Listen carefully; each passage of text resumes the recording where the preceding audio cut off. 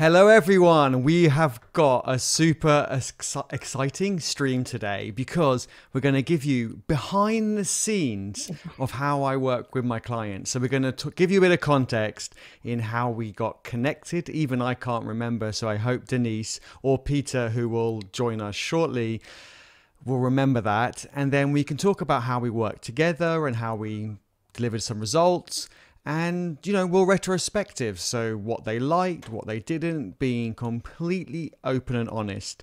Uh, we haven't scripted this at all. So it's going to be a lot of new information for me. And you know me i love being transparent but before we get started let's give a shout out to jason g was first so thank you so much for joining the live stream uh, SMK and Carl as well. And Carl has been doing some work on uh, some of our open source projects using DataStax, which is really interesting. So hopefully we get time at the end oh, and we great. can talk about that too.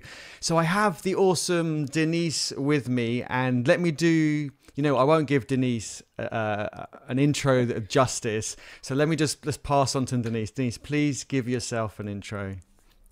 Hey, Eddie. It's uh, so great to be here on another live stream. Um, and by the way, before we get into intros, when we were doing the countdown, I took like a meta photo of behind the scenes, behind the scenes, uh, because the setup that you have is quite impressive. Um, Thank you. Yeah, it's um, I'm really excited to just kind of peel the curtain back and uh, share with everyone how we got connected and um, yeah, so uh, I'm Denise. I uh, I have a PhD in computer science, focusing on machine learning. I've been working in the tech space and you know for almost 15 years now, primarily focusing on graph databases and graph data. And I think that is most relevant for this discussion is kind of the journey of how I got here and my first career, because uh, I feel like that experience is most relevant, Eddie, into how I found you. Awesome. Oh, that sounds exciting. I look forward to uh, hearing that myself. Yeah. That yeah. So um, do you want me to dive in? Yeah, you know what? Let's just dive straight in. And while you're doing that, I'm going to share this on uh, on socials as well. Yeah, great. Yeah, so um, Eddie, I, don't, I know I didn't ever really tell you about this, but um, so my first uh, my first passion, and actually a passion I continue to have with me, is that I love teaching and building with other people, and just kind of seeing that moment when someone else gets this cool idea that you think is really cool as well. Because of that, my first career actually was as a as a teacher. Uh, here in the United States, I taught uh, I taught high school mathematics for a year right when I graduated uh, undergrad, and let's just say I was steamrolled like completely flat when I was a high school teacher. I was way too young. Um, I had such a passion for the subjects, but just an inability to really uh, I mean, I just I was too concerned about my students liking me, right? Instead of being like a good teacher. I think probably a lot of people fall into that, I guess, as well. Yeah, yeah, and I don't know. So I always was really into teaching and making lesson plans and, and understanding the learner's experience. Uh, but for you know, at the first uh, career steps for me personally, it just wasn't fit for me to be a teacher uh, to get started. Uh, so I went on to get a master's in mathematics, a PhD in computer science. There was a lot of additional teaching and you know TA ships and uh, you know made some new classes for the University of Tennessee when I was there because it's always been a passion of mine to teach. But uh, it's just it, I just realized that that experience really is what just drew me to working with you and and some of the things I learned on that journey uh, that made our collaboration so fun and, and potentially different. And I love that story how how you got into tech, and I think it's so interesting because there's so many ways for people to get into tech, which I think is is awesome. Um, I'm loving the uh, the shout outs in chats. Everyone say hi to Denise. I will share Denise's um, Twitter links in a moment, and also you can see straight from the beginning, people were getting really really excited to uh, join the live live stream. So awesome! How did you do? discover me? Did we go via a third party, if I remember correctly? Uh, we, uh, I, I was watching your videos. Oh, okay. okay, so that's good um, to know. So, if I may ask a question, then, um, so a lot of people in my audience, we're encouraging them to create content and more document their journey, share what they're learning. So what mm-hmm. what stood out with my content, I suppose? So what could others do to make their content stand out so people can discover them or potential clients can discover them as well? Yeah, that's a that's a great question, Eddie. And the the exact thing that I that I found was your teaching style. When I was following your videos and watching you code, just the way that you were verbally explaining and the pace at which your code was um, being written for the idea that that you were building, it was just it was exactly how I personally like to learn, and I find it to be a I mean, well, that's the that's the medium usually that attracts learners to YouTube, right? Like you're going to want to have more of a visual audio experience. That's why you're on YouTube trying to learn. And uh, I, you know, when I was watching your videos, also watching Ania Kubów's videos, that you guys just both had a cadence of teaching that I really liked, and so that's how I found your videos and really enjoyed them. Um, so that was the answer to your question.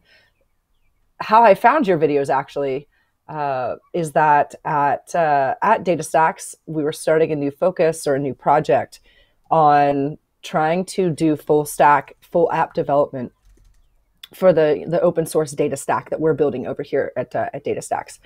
And I'm completely new to this space, Eddie. So like I'm kind of your same audience member. I didn't know any JavaScript. It was a brand new language, but I knew all these super things about graph data and machine learning, but I didn't know how to write JavaScript. Uh, so that was the that was how I found you via YouTube. I was personally wanting to learn, uh, and then just you know kind of hopped into your series, and it was it was very fun. Awesome. Um, that's so good to hear. It's always nice to get positive feedback, but we are going to get into the retro stuff later where you can give me the constructive feedback so I can improve because I think that's really, really important as well. Um, and let me think. So I'm trying not to jump too far ahead. I get really excited sometimes and I jump far ahead. So everyone watching, don't we all? Don't we all? Because we're passionate about what we do, and I think you know that's what we share in common with a lot of people um, here in chat as well. By the way, everyone in chat, give the video a thumbs up, and I will share Denise's Twitter now if you want to go follow Denise and see what Denise is up to. If you have any questions, ask as we go along. Put a cue in front so hopefully I don't miss it. If I do miss it, then just copy and paste it again. If they're on a different topic, I will probably bring those in later on. But if it's what we're talking about, then we'll bring it in now as well. Awesome. Uh, yes, Pieter is the third speaker, but we're waiting. Oh, I have a message from Pieter. Oh, Pieter's joined. Okay, I see Pieter over that side. Awesome. Okay, so hey, Pieter. Good morning. Sorry, little internet difficulties this morning. Uh, can you hear me at all? We can. All is good. Great.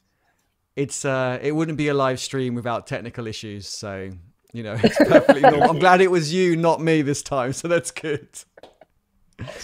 Sorry awesome. about that. Yeah, yeah. No worries. Well, we just started and we were talking a bit about Denise and, and what she thought of my content and how, how she discovered me. So maybe we'll jump straight to, to Pieter and uh, Pieter, if you could give yourself an intro, and while you're doing that, I'll bring your details on the screen and share your Twitter link in the chat. Oh, thanks so much. Yeah. So, hey everyone. Um, yeah, my name is Pieter Humphrey. I'm a, a product manager at DataStax. Um, I've been working in Java and middleware for a good, gosh, good 20 years now, and uh, you know, mostly with developers uh, throughout my entire career. Uh, I used to work at uh, used to be this used to work a lot with the Spring ecosystem. Uh, I was the uh, worked with the Spring team for almost a good seven years, so I've done a lot of Java and middleware, and I'm I'm kind of exploring data now. I've done a lot of app dev in my life, so I've been wanting to work on data, and I, I worked at Elastic couple years ago, and now at at DataStax, where I'm trying to learn about cloud native data and help developers succeed with Apache Cassandra. Awesome. I'm just going to yeah, shift and, my. And oh, just sorry, to, I was just going to jump in there to say, like, that's why I love working with Pieter. Uh, so, Pieter, the the context you missed is I kind of gave myself like the inverse intro, right? Like, I've been working for with with data for 10 to 15 years, and I was brand new to app dev, and that's how I found my way to Eddie with wanting to learn JavaScript and app dev. Uh, and that's why you know we make such a great complementary team because we kind of have different uh, different approaches to being at the same spot. No doubt, no doubt. Oh, I love that. You're right. Having the different kind of points of views and perspectives adds so much value to um, to a team, which is why I always say to people when they go to hackathons, don't try and find someone because I think a lot of people make the mistake of saying, "Okay, I'm a JavaScript dev, right? I need to find three other JavaScript devs," and it's like, no, actually, you want to find people who don't do that, so therefore they can complement your skills. So I love that. It's perfect, Denise. And maybe we should hear Pieter's point of view on what he thought of my content. I know I connected with Denise first. We we started the conversation, started working together, together and Pieter joined a bit later on. So I'll be interested to hear um, a bit about Pieter when you came on board, and then we'll jump back into, I suppose, the whole timeline of how we all worked together.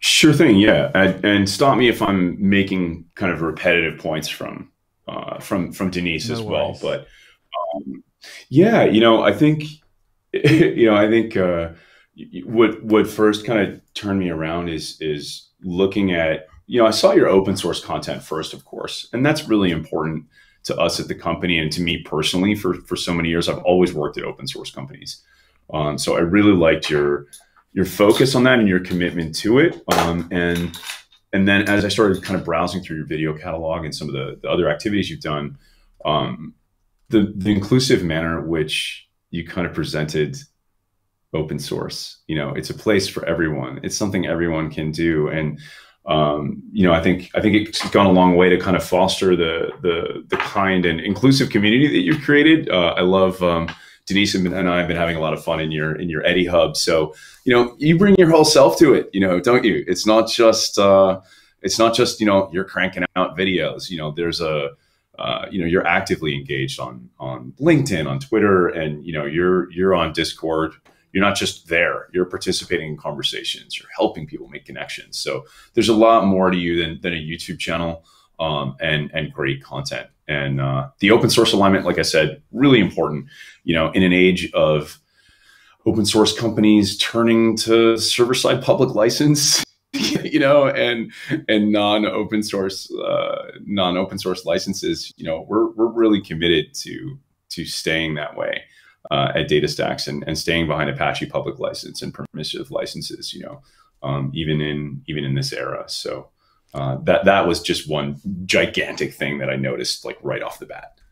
And I just released a video on licensing a couple of days ago, so that was perfect that you said that. Everyone after this live stream, go go check that out because I, I, do touch on the different licenses, not a massive deep dive, but hopefully it's helpful to people um, to understand those. And, and you're right, it is important that we, when we use projects, we do look at the license that they, they use so we don't get kind of paint ourselves into a corner in the future. And yep. so, how did we work together? So, I think, uh, if I remember correctly, Denise and me, we we had a call and you talked about some ideas. My memory's so bad, Denise. You're going to have to remind me. How did the journey go of us getting to a video together where the three of us worked on and liked it? Yeah, I, I feel like it was, and, and Eddie, you're putting a lot of trust in my memory, um, especially being that I'm a few hours away from a sabbatical. So I'm just starting to let it all, let it all go down. But um, Oh gosh. So you've, you've remember... got PhD in your title, so I trust you. You must be able to like. You must be so much smarter right. than me. Trust her. She's a doctor. exactly. oh, thank you guys. I appreciate that. Um, you know, Eddie, I just remember when we first hopped on a call, right? So, uh, just to set the context, maybe for some people who are just now joining the live stream, as as a professional educator uh, myself because teaching was my my first career before I realized that I was a little too young at the time to be in charge of a classroom. So I went ahead and kept going in academia to finish my PhD. I I have this passion for the learner's journey and for the teaching experience. So I had already watched some of your videos to uh, you know influence my learner's experience, my learner journey because I was new to JavaScript. Uh, so that context had already been set. I had seen you do your thing. I knew that our outcome experience that we were going to create with this video was exactly like the journey I was hoping to put that we could do together on YouTube. So that outcome I already knew we weren't going to have to shape. learner's experience was a big check. And to be honest, that's the most important thing, right? Like that's why people are on YouTube. So when we first had that conversation, Eddie, I had all these things like already like that you had passed in my mind, like all these gates that you had come through with flying colors. And I felt like we just needed to see how we vibed, what our energy was like, and if we could just have that idea that would spark curiosity on each end.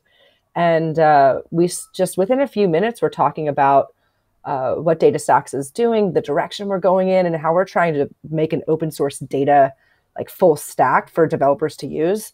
And you just already started throwing out ideas. And I could just already feel that vibe in the first two minutes that we were going to have a good time generating ideas and just seeing what we could create together.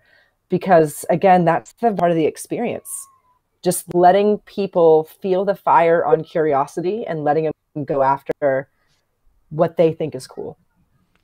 And thank you so much for that recap and that positive note, I'm going to throw a bit of a kind of a, what's the word, a teaser in for later on to let everyone know we did have some challenges, and we'll get to those in a bit. Because when we went over to Pieter, full transparency, I re-recorded the video, well half of it, and I chopped a quarter of it out. So we'll get to that shortly. There wasn't all smooth sailing, but it was definitely worth it, and and I learned a lot on the process. So it was it was good. We'll get to that. Um, I just thought cool, I'll, cool. I'll throw that out there. So I don't know if decent Denise, you were aware of that or not. I, I was not, okay. um, and the reason I was not was mainly just because, again, to the point about outcomes. If you're a content creator and you're, you know, following this uh, this retro, trying to understand like what is it about this you know experience that's that's helping elevate Eddie and elevate this community.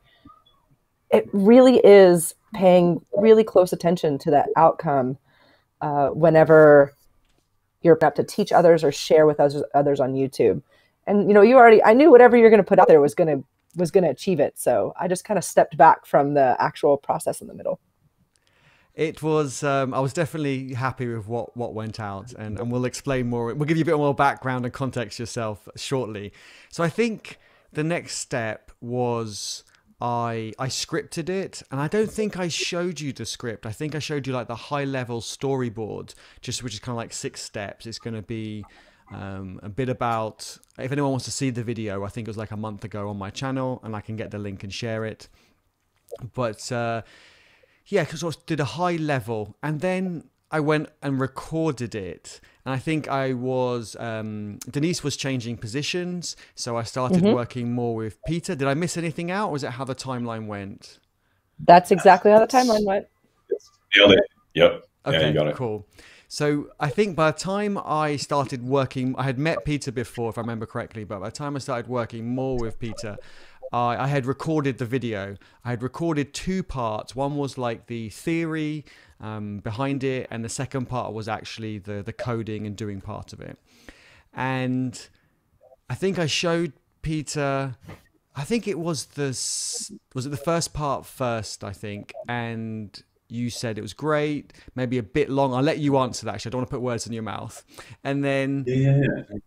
And then I showed you the second part, and then I showed it to you together, and I think you were quite happy with it. But you said, "I like it, but if I in the future, if I could change anything, I would do this, this, and this." And it made me think, he's not asking me to change it now, but actually the ideas are quite good, and I want the video to be better. And Pieter, correct me if I'm wrong. Was it something like that? My memory is so bad; I don't even know what I had for breakfast. No.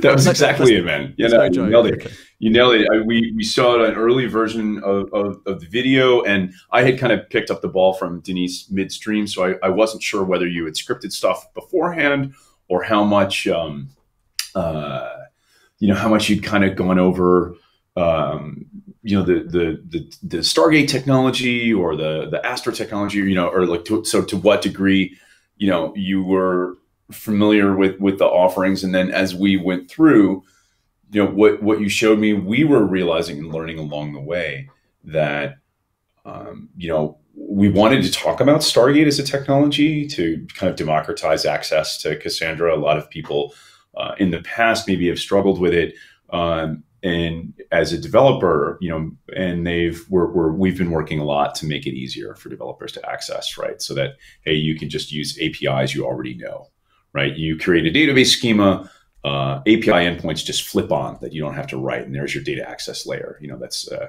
significantly less complicated. Um, uh, for you as a developer to work with. And so we were like, well, do we put the emphasis on Stargate or do we put the emphasis on Astra because Astra just packages it up and it's ready for you to use. You know, and when I was on the Spring team years ago, you know, you could download uh, Spring libraries via HTTP, and and we made a decision to cap that and cut that off and force people to use Maven and Gradle. Why? Why would you take a, an access method for software out of developers' hands? Because the experience was horrible. you know, downloading HTTP binaries yourself, and the dependency management in Gradle and Maven was just orders of magnitude better right? And so, you know, we kind of realized that halfway through that, you know, we might want to for for short videos like this and for learners maybe that are starting out their career, let's give them let's make sure we put the easiest possible method in front of them. And so that's why when we were looking at the content, we're like, oh, wait a minute, hold on.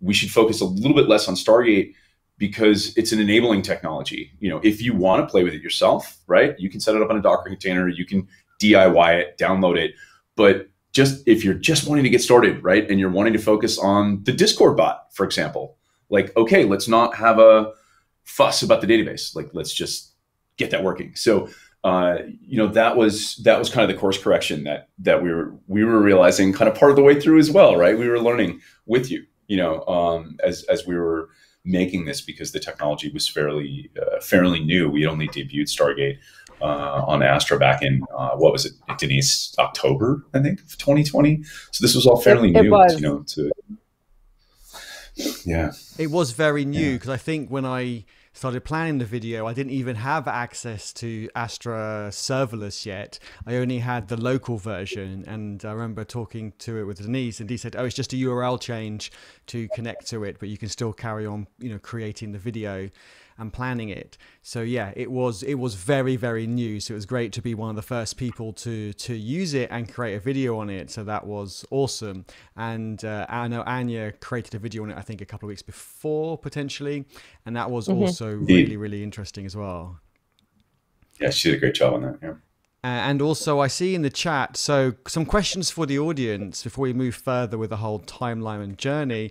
Uh, Nick says um, that uh, he uses MongoDB. I know a lot of people use MongoDB, so I'd be really curious to know, um, everyone in the audience, why do you go to Mongo first? Is it because people talk about it more? Is it it's just a, um, it's just what's used more in the community, or it, it sounds like less scary?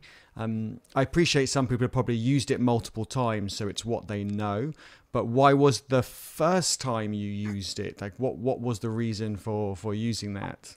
And uh, Jay also mentions uh, that he saw the video by Cushy on uh, Astra DB as well, um, which was uh, awesome. I think, yeah. So it was Cushy's first video. I think she's just passed 500 yeah. views, which is amazing. Like really, really good. Nice That's job. Awesome. That is really good. Because she's yeah. not here, but if she was, we would have a bit of a sound effect and uh, say well done. um, so if because she does watch the replay, you have a sound effect um, for for doing that. Uh, totally, she nailed it. Right it was really park, really yeah. well done for first video. Like um, it was just amazing. I know, I couldn't believe it. I couldn't believe it either. It was great, and. I suppose I know pe- people are thinking again. So I mentioned that I re-recorded the, the video. And I know a lot of people might think, because we've got a lot of people in the chat who want to get into freelancing, you know, want to know how to find clients and all the rest, and might be thinking, well, Eddie, why did you re record it? You've agreed a price, you kind of agreed it. And I did mention that it was an improvement. But I think also it, to give a shout out to um, the DevRel team at DataStax, uh, Denise, uh, Pieter, and loads of others that I've done Twitter Spaces with, with and so on, that you know, th- to be honest, we won't talk about the actual numbers, but I can give percent percentages in terms of there was no negotiation on the rate. And for me, I don't negotiate my rate. My rate is what it is. But some people try it on, and I don't negotiate not because I want to be difficult, but because I don't have time. Like time for me is my biggest factor. I don't want all this back and forth, back and forth. Uh, I feel I give a fair rate. If people don't like it, you know, kind of good luck to them, no problem.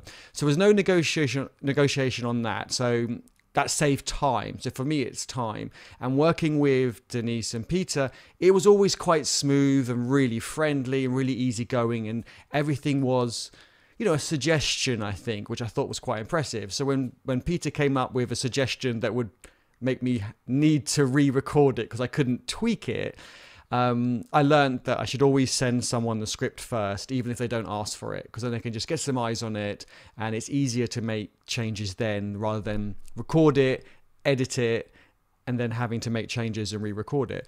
But because it had we'd worked together so well, I think we were all on the same page. It was all very yeah, very friendly. I felt like we were a, we were friends at a hackathon. Really, it didn't feel like work. That I thought, you know what, I want to make this better, and obviously, I want you know Pieter to to be and Denise to be super happy with it.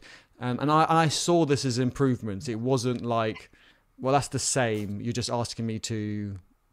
I don't know, do something slightly different. Like if you're getting in the back of a car. Can I get this icon in periwinkle blue, please? yeah, exactly. It wasn't like I want more border radius of an extra few pixels or something. Like, like there was value to totally. it. I could see it. So I was more than happy to re-record it, and uh, yeah, I was really happy with outcome. So big shout out to to both of you, and I think that's important for everyone to realize that when you're working with your client, you kind of get that feeling at the beginning, and so I think that feeling's usually right, and I think if the client's trying to make an effort and trying to be accommodating and so are you then you'll both do that give and take. I mean to give an example i had uh, I won't mention any names, a client recently, and I sent, learning from this situation, I sent them a script. They didn't want the script, but I sent them the script. Um, and they said, okay, we'll review it. Anyway, they, they changed a lot of little things like the, this, and that. And I thought, that's fine. Um, I haven't recorded it, so I can make those changes. And they went, yeah, can you remove the bit about you, remove the bit that adds value, and just have a shout out about our thing? And I just thought, but I don't do like promotional videos. Like it's an informational video. Happy to include your stuff. Um, and uh, that's not what I do. It's not what we agreed. And it's like take it or leave it. Uh, so they they went okay, that makes sense. A video does need to add value. I'm like it does. So yeah, working with you know other people is just very very different. Anyway, enough saying good things about both of you. Maybe we get back into well, I, the. I kind of also want to dig in there. Okay, sure, go ahead. and the, the I mean, well, I mean, first, uh, I do now feel like every time we tweet, we need to use periwinkle blue emojis. like, just, just that needs to happen. Um, no, uh, but Eddie, as as as much as we were kind of making it feel like it was uh, a bad experience, I, I just want to, from my perspective, the difference is in what's important, and we are truly here trying to share knowledge there's a lot of very difficult aspects that come into play when you are working with cloud databases and cloud based APIs and making examples in context of something cool like a Discord bot. That's way more meaningful just for sharing knowledge and, and just kind of lifting up everyone in the community than some of the other items you were mentioning. And I feel like that's where we all just quickly aligned. And it it really goes back to all the research that we did before I even cold emailed you, which honestly is just because you made your email accessible on your YouTube page. I was able to just go to your about page, get your email, and I sent you a cold email. But it was all of all of that work that we had done before of just clearly seeing that you liked to communicate learning outcomes and to teach and to make a community and that was already such a part of your journey that and we were already aligned on that core that we kind of were hoping that it was going to be an, an easy collaboration. Does that make sense? That does make sense. And yeah. No it does it does and I, and I and I really appreciate that and I think you know EddieHub is, a, is an awesome community and I think I, I love being involved in it hands on as Pieter mentioned earlier as well because the community are so kind of inclusive and awesome. I mean even today like to give an example big shout out to a lot of people who are in the chat uh, Kewalia um, and a few others. Sorry if I don't mention any names. Shout yourself out in the chat But today they said they wanted to practice public speaking. Um, and I said, yeah, we can open an audio channel on Discord and you can all practice. I had meetings I couldn't join as long as a mod can join. And actually, Karuna, who's in the chat, who's one of our mods, um, I think Nick hadn't woken up by that time because Nick's in the Washington time zone.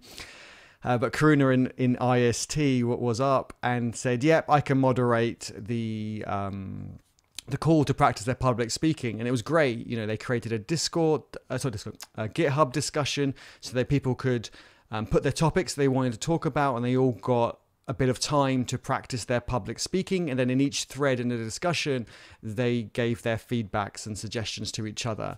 And I only joined right at the end because of my meetings, but just seeing them collaborate on that was just super awesome. You know, it wasn't something that I initiated, and but I'm really passionate about everyone practicing their public speaking. So just seeing them organize that together, and now they want to do it weekly, which I think is just amazing because now they're ah, going to So have a schedule and they're going to work together and, and do it. And, you know, another shout out for the community. I mentioned right at the beginning, I think I did, Cahl, who's in the chat, who's working with uh, Astra and also has written um, a Nest.js um, a plugin for it. But even Pieter messaged me, I think, a couple of days ago, or maybe even yesterday, and said, someone on our DevRel team is building an npm package that will create the namespace. I was like, oh, Cahl wrote a script separate to the um, Nest uh, JS, and I love it how you know you're just connecting directly with my community members, and you said, hey, can you just connect us? So therefore, you can connect your DevRel person with Cahl, and I, I just love that. It just seems Exactly. really authentic. There isn't these kind of layers where they can only speak to X person, and then it's kind of like. I don't know. You got this whole Yeah. ranking. It's just like just connect people, let them collaborate, let them work together, and I think that was awesome.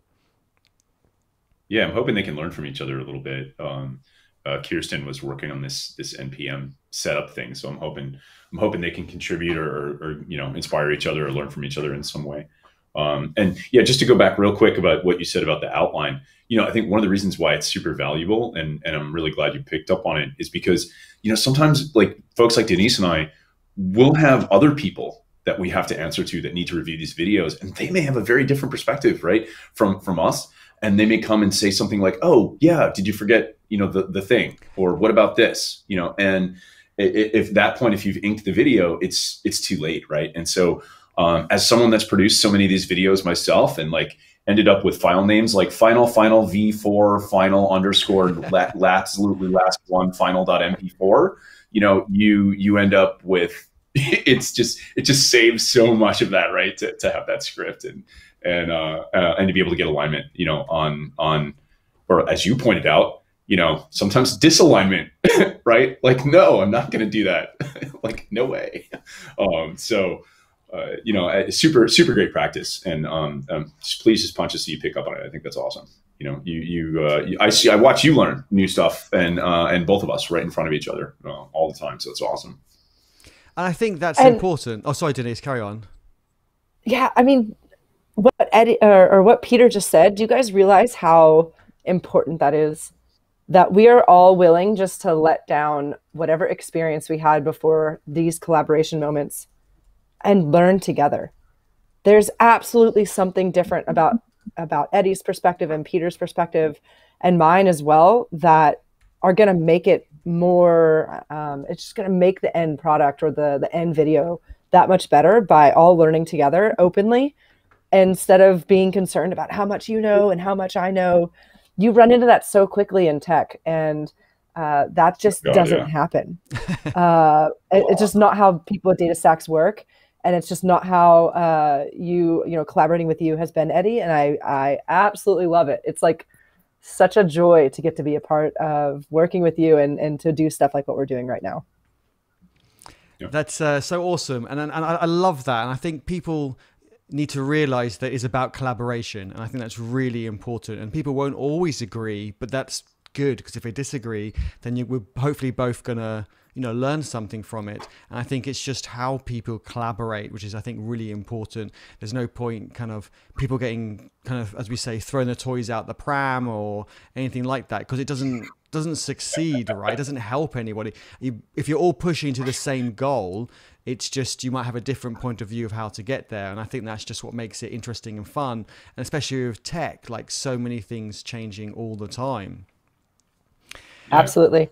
And uh, okay, I'm totally interjecting again, Eddie. Sure, I'm so no sorry problem. for continuing to interrupt your no, program. Please do. uh, but the uh, some of the Astra engineering team uh, popped into the, uh, the the live YouTube, and they were Oh, reading awesome. uh, reading some of the chats, and they want to give a shout out to. Um, and I, I apologize if I say this name wrong. Cahl C. A H L. That's correct. Is that correct? Yeah. They wanted to give a shout out to Cahl and a massive thank you uh, for contributing over to uh, contributing over to our open source uh, open source uh, Node.js client for Astra this week. Uh, Awesome. that is contributing together with open source. So thank you so much. Uh, Astra Engineering is giving you a thumbs up right now. That's epic. I love that. And I think also, I think that comes to a good note. So thank you very much for joining uh, your your dev team. I think that's awesome that they're here. Do say hi in the, in the chat as well. Uh, I think that's really good because people who eventually might want to go freelancing or do want to go freelancing now, by doing these sorts of things, they're on people's radar. And I think, you know, it's Yeah. great, right? So imagine in a year's time, um, you know, Cahl wants to reach out to you, you're going to remember them as the person who contributed to your project rather than just, it's not a cold call anymore, right? And even the team, right? You might have moved Yeah. to a different team, but other people in the team will remember, oh, they contribute to our project. And I think that's why I, I always love and always encourage our community to contribute to um, everyone's open source projects. And I do say contribute and add value. I don't say raise a pull request. I know Cahl raised a pull request, but I think adding value and contributions is not just a pull request. It could be um, improving documentation. It could be logging a bug, or if there's a bug already, re uh, confirming that the bug is there on maybe a different platform or version, etc. So I think it's uh, always really awesome for uh, people to to do that. And one thing I always also recommend on top, which I think one of you mentioned earlier on, which is have the same username and profile picture on Discord, GitHub, Twitter. So say for example, like Cahl is a nickname, is what I remember correctly. So, but I think it's consistent with GitHub, YouTube, um, Twitter, and so on, Discord. So imagine if Cahl reached out to Pieter on Twitter, but had a different profile picture, different name. Pieter's going to think, who is this person? I don't know who they are. It's kind of like a cold, cold call, and it's quite hard to, to warm up. Whereas if it's with the same picture, same name, yes, it might be on a different platform, but Pieter's going to think, oh yeah, I recognize that name. Oh yes, they contribute to our open source project or, or whatever it was, wrote a blog post, etc. Exactly. And I think it just makes it so much easier to collaborate with people. So I think, yeah, everyone definitely do that. I love that everyone in the community is giving a shout out to Cahl as well. So that's awesome. No faster way to get noticed uh, by you know by a technology team than to make a contribution right? They're darn sure they're going to remember like hey this person helped out. Awesome. And like you said it ain't just code right? It could be doc fixes. It could be you know i mean there's all kinds of things that you can contribute you know that that aren't code. I mean cushy's video amazing right? Yeah. you know i mean you know you know i mean yeah so. And uh and before you mentioned on public speaking i think uh there, there's so many new ways to get involved in public speaking. I mean you you showed us the magic of Twitter Spaces. You know, there's meetups. There, there's so many great ways for for people to get involved in in uh, you know in friendly, you know, kind of non-threatening, you know, intimate environments where they're going to get some feedback before they you know jump up on stage, stage, stage, stage, and and you know, uh, so. Um, uh, you know, and, and and if there are folks in, in Eddie in Eddie's community, you know, that are looking for for ways to do that, um, you know, we we may be able to help. Uh, you know, I, I run the San Francisco Java user group, but uh, that probably doesn't help a lot of the JavaScript folks too much. But you know, it turns out that there are people in Java that make JavaScript user interfaces these days, uh, quite a lot of them. So um, yeah, if you're if you're looking for a place or a venue to present, try your hand at practice uh, at public speaking, uh, please feel free to hit me up for San Francisco Java user. Maybe talk a little bit about the Java JavaScript connection. There's probably tons of other meetup organizers out there that would love to have you. Absolutely, you're right. Do reach out to meetup organizers. And you know, you can start practicing with usually on my live streams. I do Radio Eddie where people can come on audio. I think Denise joined me uh, a few weeks ago on that. Just came on for like five ten minutes and chatted. It's a great way for people to practice.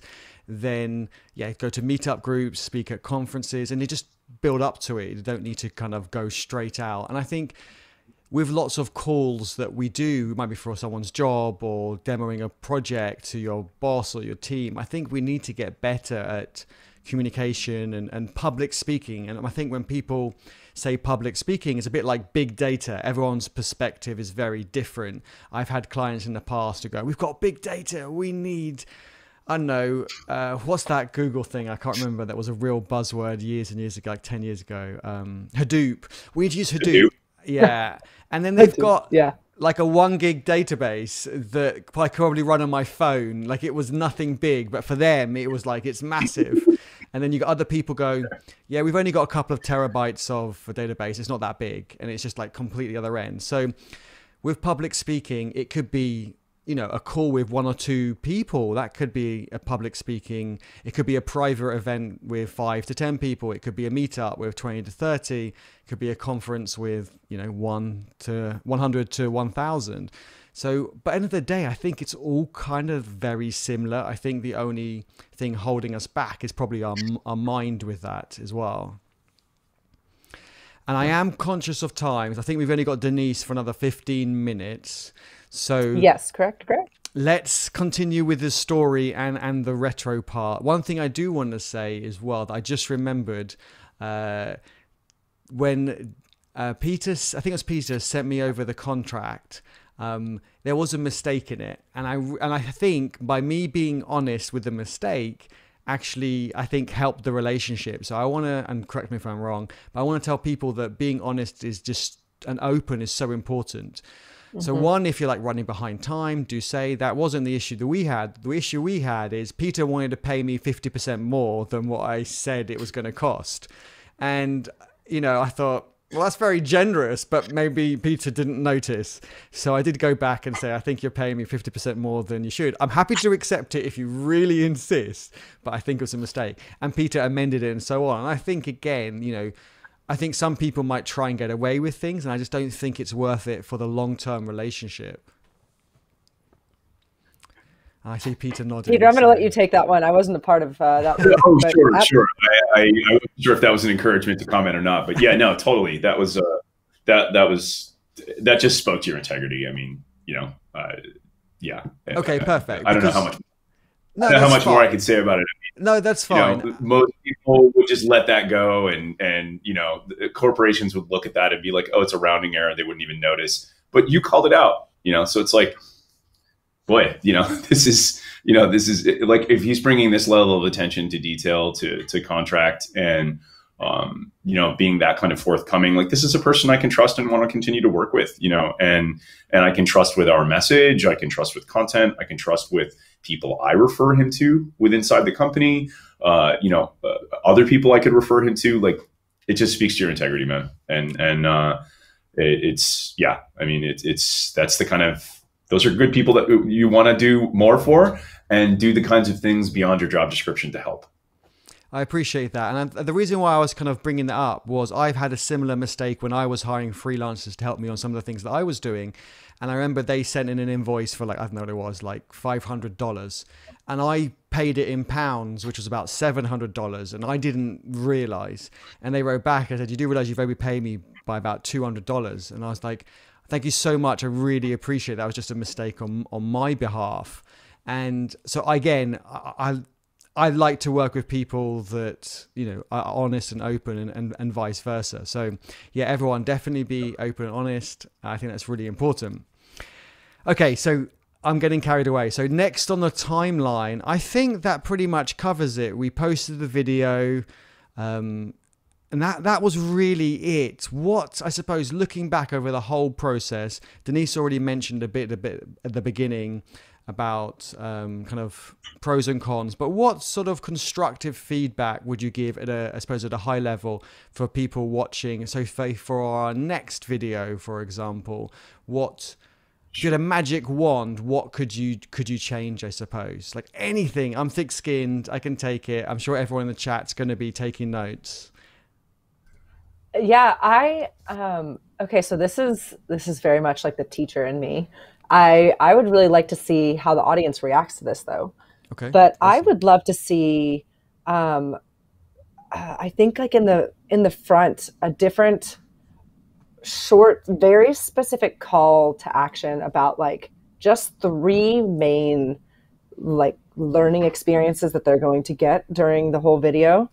Um just as like a moment to be like right before we get ready to get started like boom boom boom these are the three main tech highlights about uh, what we're getting ready to learn. Uh, so look for them throughout the video kind of helping frame uh, frame expectations a little bit a little bit with more specificity. Does that make sense no, that does. I think being, you know, really crystal clear up front. I don't think I did time codes on that video. Maybe I could have done that to match, like you said, yeah. what was being brought up front could really help so people could click through. I think that works really well. No, I love that. Brilliant. Okay, I'm uh, going to write that down, and I'm sure and, someone in my community. we hit on that same point. We hit on that same point, Eddie. Remember, because we when we were reviewing the video, one of the changes that I had suggested, and I was like, we could do this next time, but then you liked it and you were like, I want to re-record it, was let's show them the the bot experience and show them what they're building and what they're going to get for the effort that they're going to go through the video, right? And spend some time on that up front and like demo the end product effectively, right? Uh, rather than just jump into the tutorial. And you were totally like, oh yeah, right. You know, let's let's do that. You know, and spend a little bit more time up front, like you know, kind of showing them this is what they're going to get, right? Uh, you know, for for your for your efforts. You know, if you spend this time with us uh, on the video, like this is what you'll learn. You know, this is what you can do with what you what you've built, uh, and that I think I think improved the video significantly. And and it, apparently so did you because we're willing to re-record it. yeah, I really liked it. I thought I could maybe clip a bit at the end and bring it to the front, but it just wasn't going to be as natural. wasn't going to be there. And I thought, you know what? And I could have re-record sorry recorded an extra bit to go at the beginning but we made some other tweaks as well and i was like you know what? Let's make it really really natural and let's do it. So yes that was really good to show the result at the end so if people want to invest their time and they can go all the way to the end. I love this. We have got a question for denise.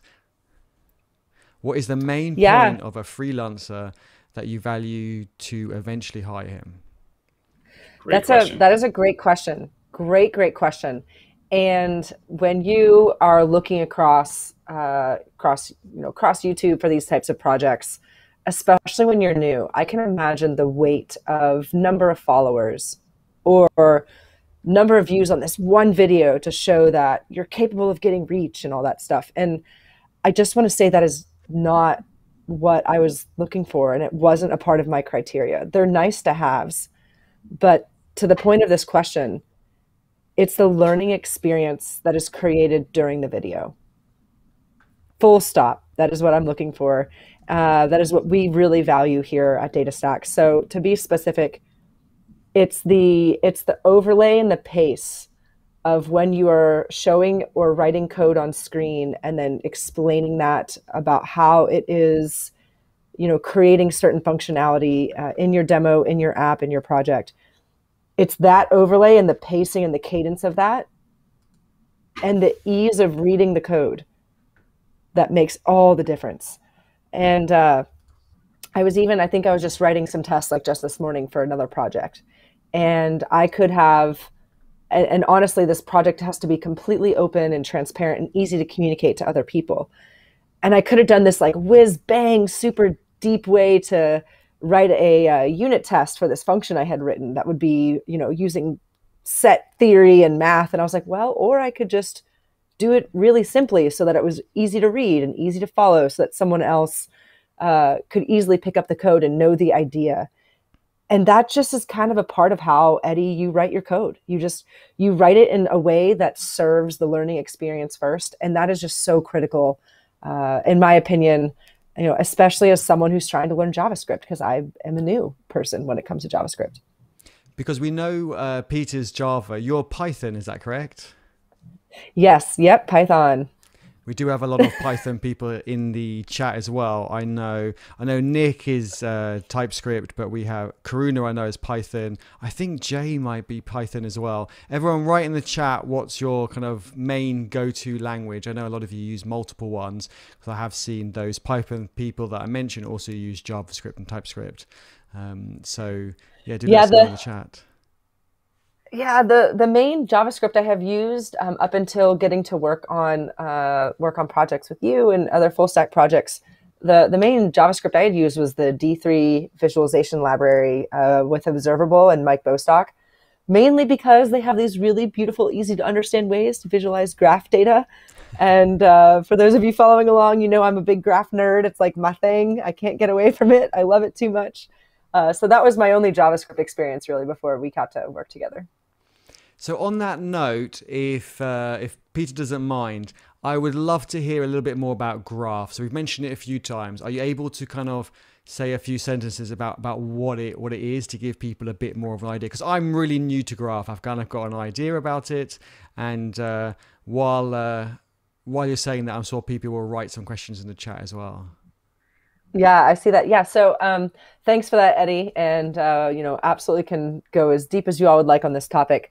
Uh, but for for graphs, uh, when we are talking about graphs, we're talking about relationships, and we're talking most specifically about relationships between uh, data points that you're working with.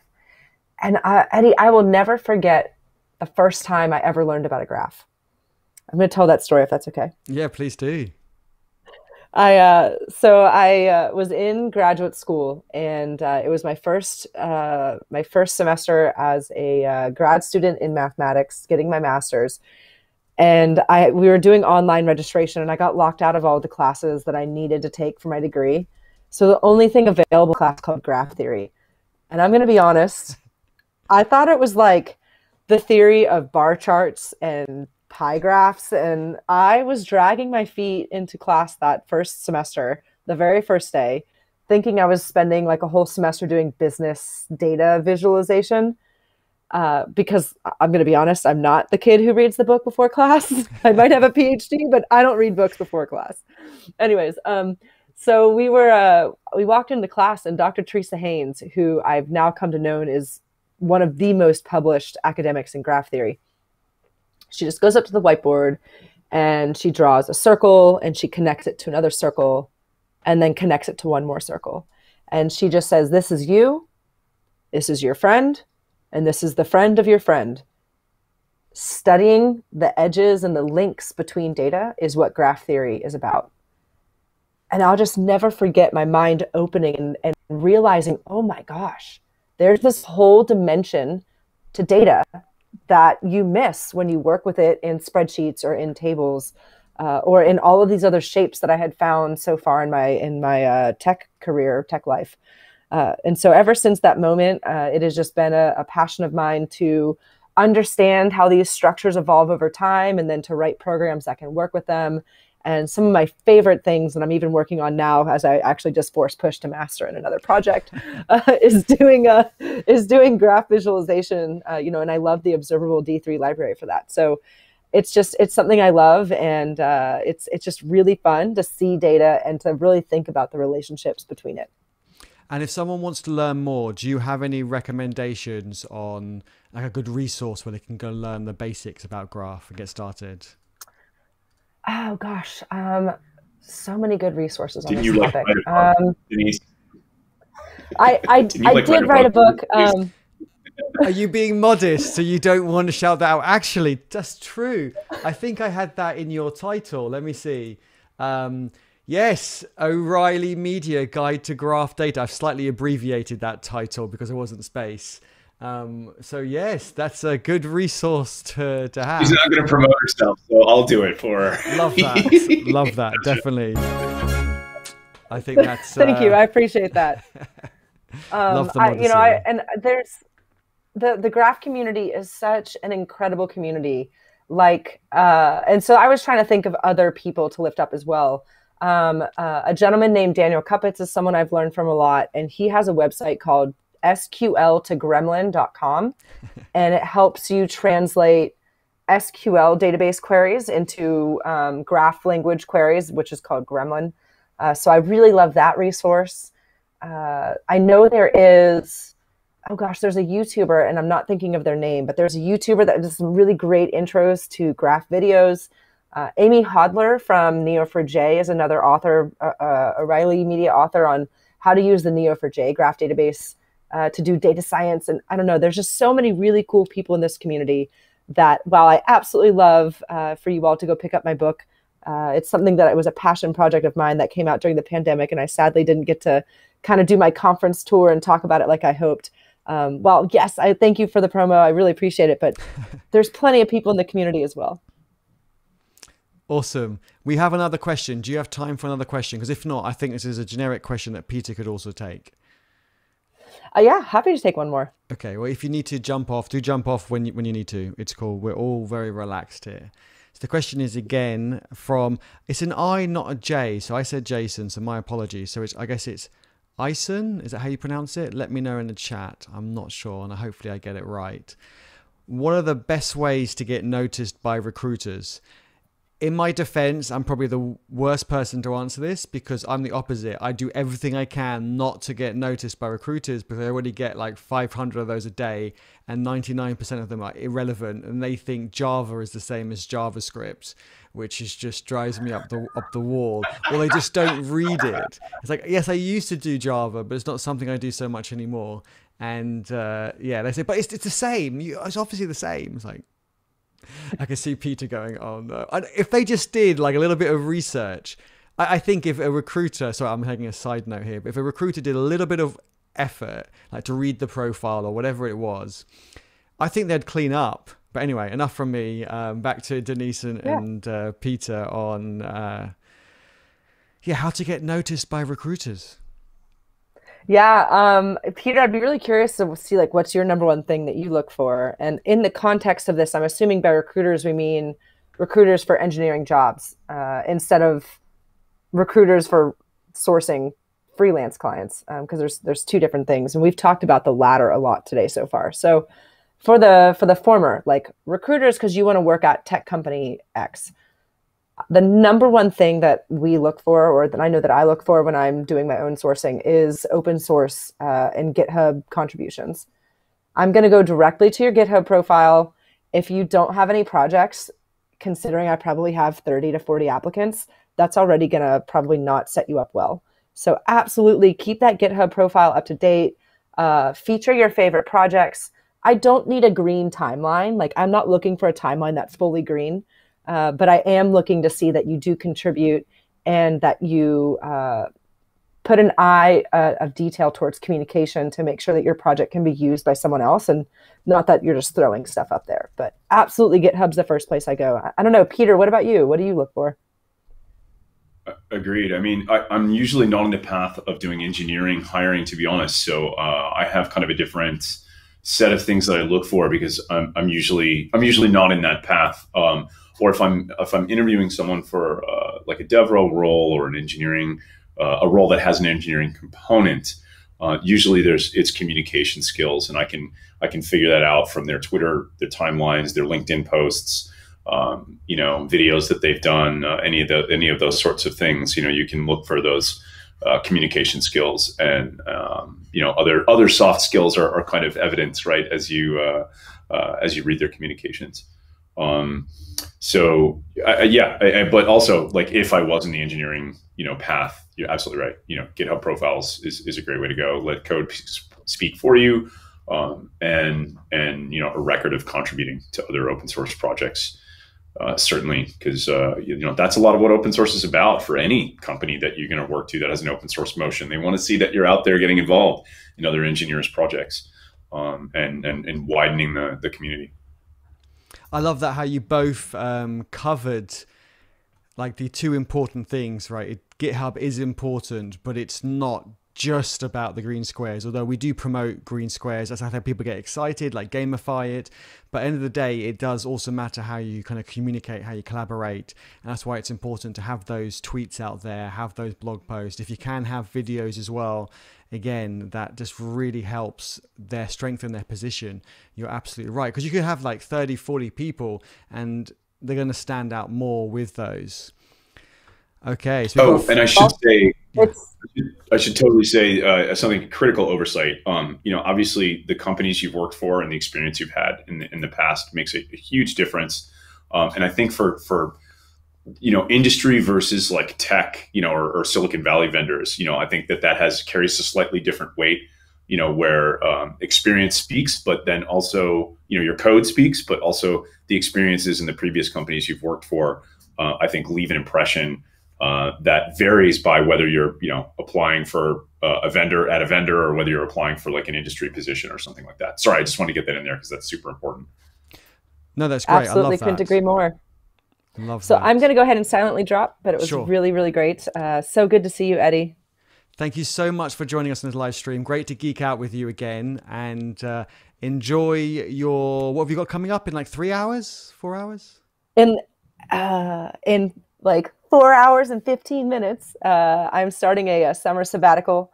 Uh, I will awesome. be back in August. I cannot wait to join Pieter and the DataStax crew. Uh, but I'm going to be hiking around the United States all summer, and uh, I'm really looking forward to the time. Awesome. Well, have a safe trip, have lots of fun, and look forward to geeking out with you when you get back. Will do. Thanks, y'all. Thanks, Denise. Pieter, should we answer a few more questions and then maybe we, it's Friday. We will uh, we will call it a day. Or yeah. Awesome. So, which channel in Discord are, are we uh, sor- are you sourcing stuff from? By the way. Oh, just in the YouTube chat. Oh, YouTube chat. Got it. Okay, cool. Yeah, and let me remove uh, Denise off the screen, so otherwise she's frozen. There we go. Okay, awesome. right. So some of the questions I saw in the chat were always really good. okay, Kunal put a Q in front. That's awesome. That really, really helps. So if other people can do the same, that will be super helpful. So the question, and if you have put the question in already, just copy and paste it back in. The question from Kunal was, I've heard many people say that reviews matter a lot when freelancing and getting clients, but what about a beginner with not many project reviews? How to stand out? So did you I don't think I had my website up, which has reviews and testimonials on there when um, when we got connected. So maybe it doesn't help as much as I think it does. On that note, though, I should get a review from you so I could put something on my site, like a testimonial or something. so thank you, Kunal, nice. for the reminder. totally. You got to ask for those LinkedIn endorsements or they never end up there, right? Yeah. Um, yeah, yeah, totally. Yeah, Kunal, I think, um, uh, sure. I mean, uh, honestly, like we noticed Cushy's video, um, not just because she knew Eddie, but because she clearly took the time to look at our example code, um, you know, produce a great video, and th- the subject matter was on point. Like, you know, it that that got attention much more than you know great reviews about you know reading your profile next to a bunch of others would it's like that that that pushes a signal towards the person you're, trying to get the attention of right? In the form and format that you're that you're potentially looking to be hired in. So it's just like you're kind of letting your work speak for you rather than having a profile that's sort of sitting in a directory being like you know yay i worked with uh, kunal and you know the experience is great. Sure that kind of stuff is always important no doubt you know but um, uh, and maybe more important for for a beginner because you don't have the catalog you know like denise was saying. She went and looked at eddie's content catalog and it, it, just the work spoke for itself right? It just it passed a lot of check marks you know just right then and there. Um, and so in cushy's example like if she wanted to freelance with us you know for example like i could just go look at that video she did. She's already shown data datastax subject matter expertise. She's shown how easy it is to work with um, uh, with with Cassandra and Astra, and and all, also a command that just like NoSQL is more than just document database, right? It's not just uh, throwing JSON at a document store. Um, that there's uh, different types of NoSQLs, and, and, you know what I mean. It just immediately showed she had that command, and when putting a, a very clear signal about our tech as well, it's like, oh wow, she's done the homework. She's looked at our example code and and, is, and made a video out of it. Awesome. What a clear signal. What a way to distinguish yourself from the pack by having a targeted, you know, I want this person to hire me. I'm going to show them that I know their stuff already. Like brilliant, you know. Love that. And uh, just go through a few more questions. So the next one is bring that up. What are your thoughts on cold emailing or networking with recruiters rather than applying to all the jobs? Huh. Interesting. Um, hmm. Cold emailing or networking with recruiters rather than applying. Yeah, I mean, um, uh, I, I, hmm. Both. I certainly tried to work with recruiters early on. I mean, Eddie, I look you know, I, I don't know about you. Uh, it sounds like you've tried to actively avoid recruiters for ten years. Like seriously, right. just yeah. avoid them because they find they waste. I, I kind of have too. Yeah, I, I mean, you, I've never worked with recruiters either, but I'm lucky. Like I I live in the valley, so I got to know people in the valley. So I just worked with my network. You know, if you're if you don't have a network to be on the inside of, you know, then you, you, know what I mean? Then that then that opportunity may be denied you, and it's like, how do you find a way into it? Um, but uh, I haven't. I've been had the luxury, I should say, of not having to work with recruiters because uh, I maintain. I created that network purposefully, and I maintain it, uh, and I keep in touch with people, um, and and call them for you know no reason, right? You know, and and there's a tax there. It's it's work, you know, but uh, I I enjoy the people I I connect with, and you know want to want to talk to them on a regular basis. So, you know, it's not just all you know networking or what have you. So uh, the networking is, is was always been the biggest thing for me and where the, the best jobs always come from. If you don't have that luxury, um, yeah, you know, recruiters recruiters can definitely be of, of, of value for sure. Um, you know, cold outreach is is tough. You know, um, that's a tough thing. I, I don't know. I, I don't know if I have any sage words of wisdom there. That's that's a tricky one. It is. Well, it was applying for all jobs. If there's a job being posted, then you know probably apply to it, but also maybe network with recruiters because they might know about jobs that aren't posted yet.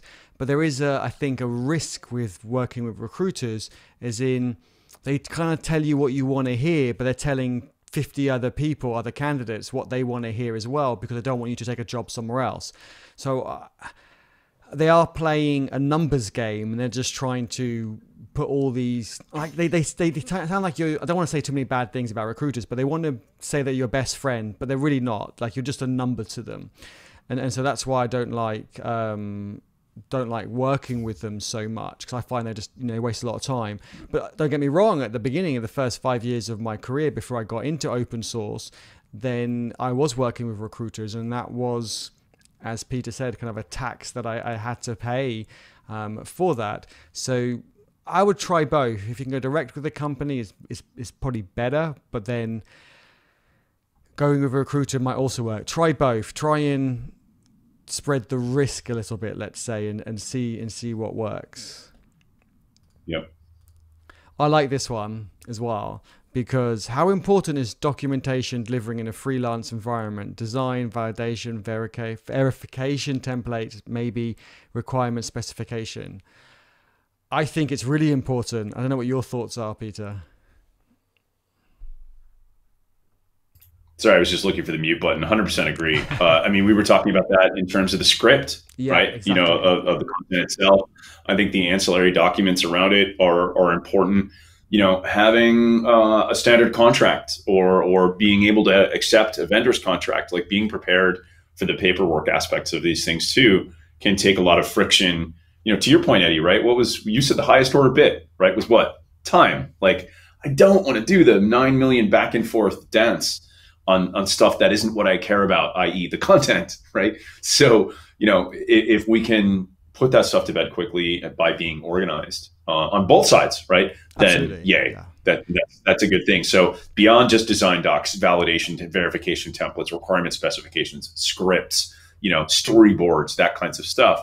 Um, uh, especially in your initial touches, with with with you know in your first projects with folks where you're getting to know each other uh, that kinds of stuff is important. Once you've been working together for six months like okay you know you might not need as much of that right? Because uh, they've learned you know you've learned their style they've learned your requirements you know and you may need to document you know everything to the nth degree a, a little bit less.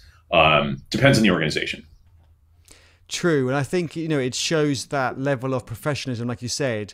Um, it's kind of I find it weird when I say to people, "Can you send me an invoice for the work you did?" They say, "What's an invoice?" And I think if you're freelancing, you should know what uh, what an invoice is, and and so on, and uh, just just things like that. So the first time you do it, it's probably harder, but then after that, you've probably got documentation templates, storyboard templates, um, loads of stuff that you can reuse. Yeah, having that the first time is quite hard, but documentation is so important. It makes you stand out. And imagine um, the client is probably working with other people on other projects or different parts of the projects. Why should they give you that next phase of that project over somebody else? You both might be doing a good, good job. You both might have good communication. But if you want to stand out, go that extra mile. So therefore, they think, you know what, we want to use this person. I know they're going to do a better, better job. And at the beginning, like Pieter said, at the beginning, you probably have to make more of an effort than later on as you get to know each other a lot can a lot more assumptions can be can be made. So they like that. Also, yeah, just, you know, if you end up getting hung up, if you end up getting hung up in in you know contracts or you know a bunch of paperwork or things like that, you know, it's just you're both here to produce some sort of a result, whatever it is. You know, usually it's a piece of content.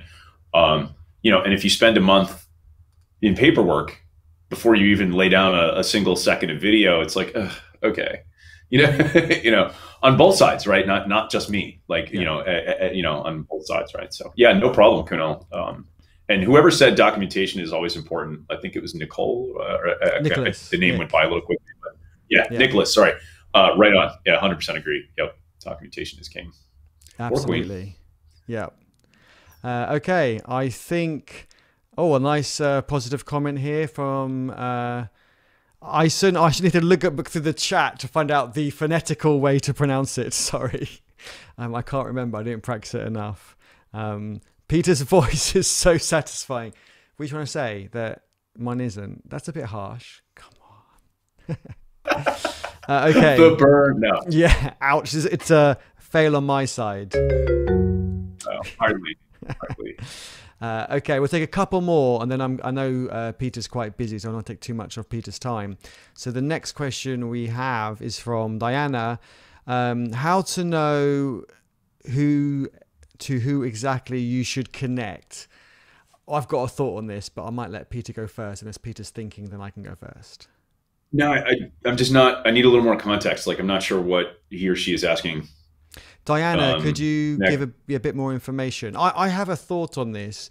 Uh, yeah, you know, go who, for it. Who exactly um, you should connect to? I suppose if you're on LinkedIn or on socials, like who you should reach out to.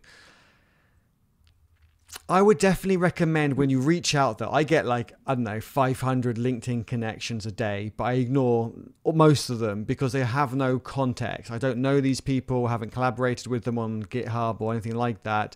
If I recognize the name or the photo and I've collaborated with them on Discord or, or GitHub, I'll accept.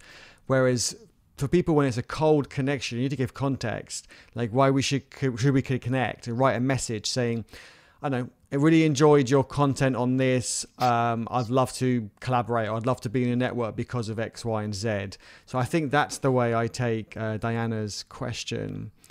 Um, sure, sure. If, if, we're reading it the wrong way, uh, Diana, please let us know. Um, I, I, reached out to a prominent YouTuber uh, the other day, and they didn't know me from a hole in the wall. And I was like, okay, well, how am I going to you know, how am I going to get their attention? And, and so I just, I kind of went through their Twitter timeline a little bit and, you know, sooner or later came across some unanswered questions that they had posed fairly recently that I could actually answer. And I was like, oh, well, you know, you know, put in a few things, uh, started interacting with them. And then when I DM'd this person, they were like, hey, how you doing?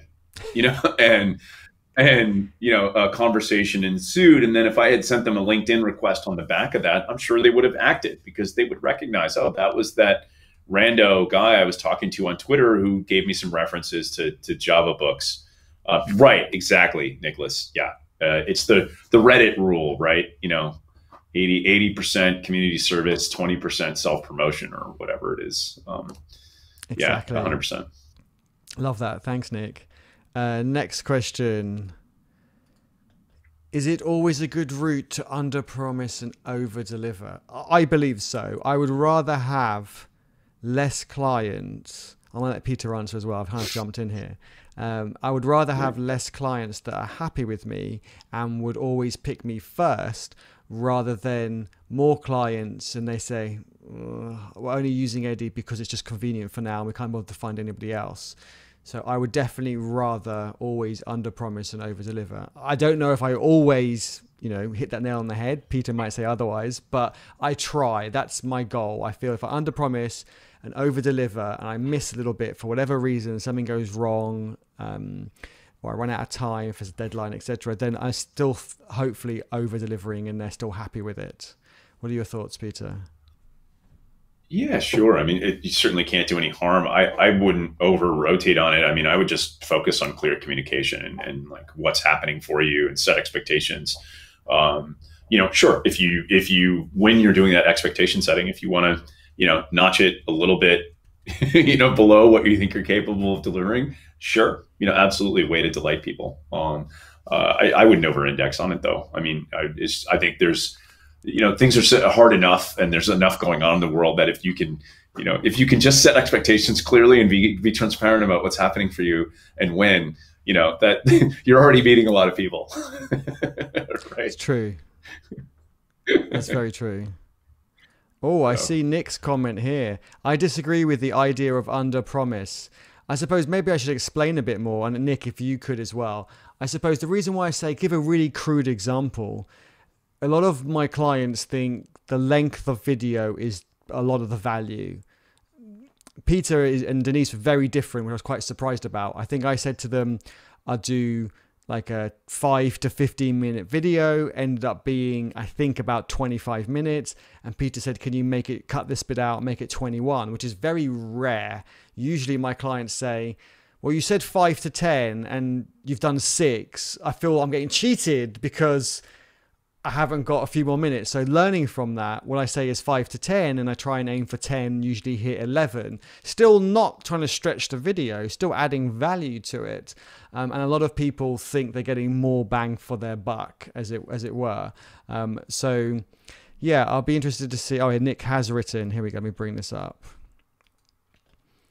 Agree with Pieter. Clear communication is really important. Uh, yeah, definitely yeah, clear communication. And I think that goes to what we always say it's collaboration first because you need to give context. I think that again, that's why I don't know if Pieter agrees with this or not, but working with some people when they message me and they say, Hey Eddie, can you this is a reminder, can you can you talk at our event? And I'm like, What event? And I'm looking at the history of the chat. There's like nothing there in Discord. Say, Oh, I messaged you in Twitter. I'm like, I get like hundreds of messages per day. When was this? You've got a different name on Twitter. Let me try and find it. I spend like 10 minutes trying to find it and I reply to them and say, Look, I can't find it. Can you just remind me? And they say, Oh, it's about open source. I said, Well, I'm pretty sure it's not going to be about like painting or knitting or driving sports cars. You know, open source is what I do. So I'm pretty sure that's what the event or talk is going to be on or something around that. Can you give me some kind of date, time? You know, where was the history? And this goes on, and I'm getting frustrated now. I'm thinking, look, I'm wasting like 30 minutes on something I don't know if I'm going to do from a person who I don't know. Whereas other people, and they might come back and get annoyed and say, Eddie, I messaged you a week ago. I think I've had a thousand messages over the last week.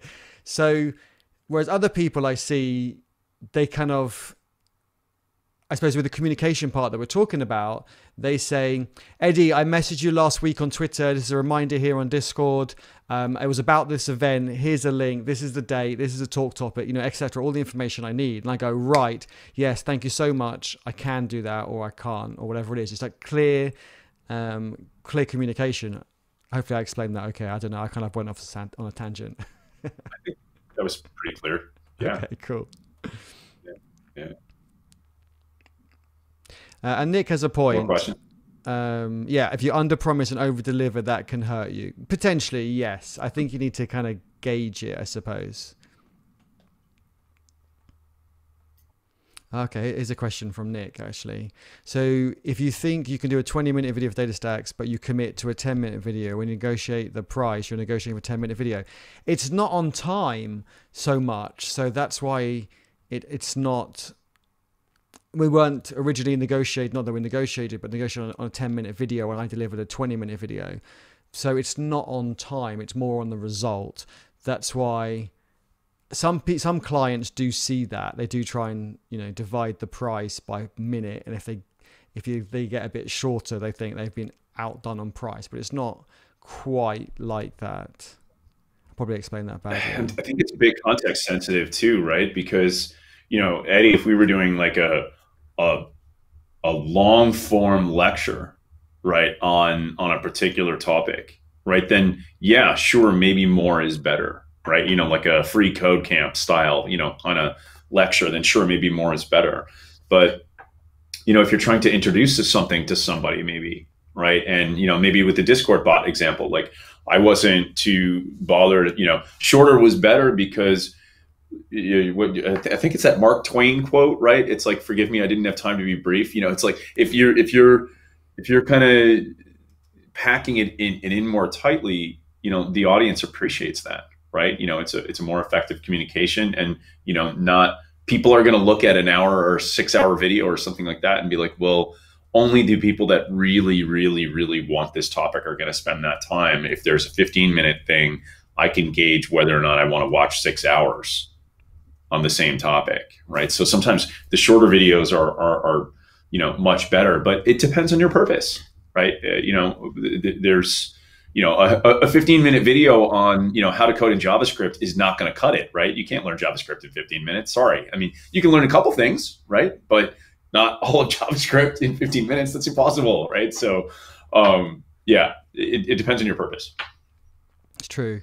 And Nick brings up some really good points about, you know, why uh, commit to time at all. Well, because people like to have a kind of range. They do like to kind of know that it's not going to get a surprise where they have like a 30 second video or something like that. So, and every client is different. Some I've had some clients say it needs to be minimum of 10 minutes, and that's their criteria. And I've had other ones where they say maximum of 10 minutes, and it doesn't affect the price because it's not on like per minute, it's on the result, on the value. So everyone's kind of different, but I like to give a range to give kind of a ballpark. I try to get within that range as much as possible. And if they want to cut something out, like again with Pieter, it's 26 minutes. Pieter said, actually, can we cut this section out? Remove five minutes? Yeah, fine with that. That's not, not a problem. I think it's easier to cut stuff out than it is to add stuff in. Uh, and it's better to set that up front before you lay down the video so that you don't get put in a situation because i mean i've done video editing it's hard right? You know and, and cutting out is usually okay usually okay depending on how you've recorded it right? But like yeah, much better to get that alignment up front so that you're not stuck in the position of, of having to figure out how to weld, you know, uh, make a weld, right, in, in your video. True. And Nick says, I wish Radio Eddie was here. I really want to dive into this. Oh, would love to you to dive into this. It's so much easier than trying to read the chat because I'm missing some stuff. I've I see Diana wrote, that's my point. Uh, four different platforms gets confusing. And I can't remember the context. I guess chatting to people on different platforms. I would always recommend trying yeah. to keep to one platform for that person unless they say switch to another one. Like I usually chat to Pieter on Discord or Twitter. We don't chat on LinkedIn, although we're connected on LinkedIn. So just try and but I chat to other people on LinkedIn. So just try and keep to one platform for that person, I suppose. Yep. Oh, Nick yeah, that was Diana's uh, question about who to connect to and, and why and where. Yep, you you absolutely remember the context correctly, Eddie. Yep. Okay, cool. And Nick says I've misunderstood the question. Okay. Uh, wrong point. If you under promise, you're negotiating the payment for that promise, right? So if they over deliver all that stuff you didn't negotiate for payment. I just want my client to be super happy, right? Im- imagine if I don't know. Let me th- think of it. I can't think of like a an example. But if someone, if you're expecting someone to do something and they over deliver, then you're going to be like, oh, I'm going to use that person. They they over delivered on what I was expecting from them. So that's why I always like to slightly over deliver. I'm not saying spend an extra, you know, twice the amount of time and effort on it, but if you over deliver, you kind of leave leave them with that warm and fuzzy feeling, and they'll want to come back. Which is why I have a lot of repeat clients. Hopefully, I explained that better. I'm trying to catch up on chat. I totally flooded the chat. Me. maybe maybe we'll have a chat um, offline or another time on radio on radio radio or Twitter Space. I think that's a really good topic to cover. I like that. Um, I'm just conscious of, Yeah. conscious of time. Uh, I've got another couple minutes. I'll probably need to wind up about 10:30ish. no my time. worries. Anyway, sorry. Nick's saying uh, over delivery shouldn't pre be pre-planned. This is probably better as a discussion on audio. So maybe we'll it's probably a good safe place to end, and uh, we'll we'll pick that up another another time. Um, I just want to say thank you so much, uh, Pieter, and and for Denise who was here. Let me share Pieter's. Um, Twitter again. I really appreciate you taking the time to kind of share your experience and knowledge. And let me bring up, I can bring up your details as well again. Yeah, share your knowledge and experience. Yeah, I think it was awesome. Thanks for for having uh, both of us on. Um, funny, uh, this is the most I've seen Denise in the past week or two. So that was that was actually awesome. I, I like hanging out with her just as much. So uh, it was a double win, and uh, really a pleasure to meet some of the folks here uh, virtually by the chat. Um, yeah, please feel free to reach out um, on Twitter if there's some way we can, you know, some way we can serve you. We'd be happy to help. Um, or, or you can find me in, in Eddie's uh, in EddieHub as well. yes. Um, I see we probably have a, a an invite for that or a, a, a yeah. way to get the Discord. Yep, I can. It's just uh, discord.eddiehub. I'll put it in the chat now. dot .org. No worries, Nick. Awesome to have your point of view. You've always got so many great ideas. I think someone made it a bit clearer, actually. I know we were wrapping up, but I did see that where someone said, uh, Alberto, yeah, I think it comes back to clients love quality, good communication, delivery on time. So I suppose over delivery is not just about the final product. That's probably getting too cut up on on the on the focus on the minutes.